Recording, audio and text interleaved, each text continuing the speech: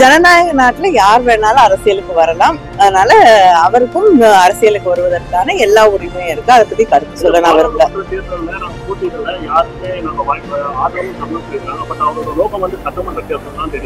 சட்டமன்ற தேர்தல் அவர் போட்டியிட்டா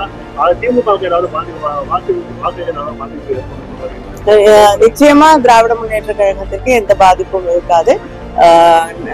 முதலமைச்சர் அவர்களுடைய நல்லாட்சியை பொறுத்துத்தான் வந்து அதற்காக ஒரு பரிசாகத்தான் மக்கள் நிச்சயமாக திராவிட முன்னேற்ற கழகத்திற்கு வாக்களிப்பார்கள்.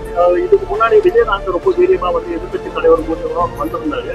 ஸோ வந்தது இப்ப அரசியல்ல ஒரு அரசியல் இல்லைங்க யாருடைய அரசியல் எப்படி இருக்கும்னு யாருடன் சொல்லக்கூடிய நிலையில் நான் இல்லை.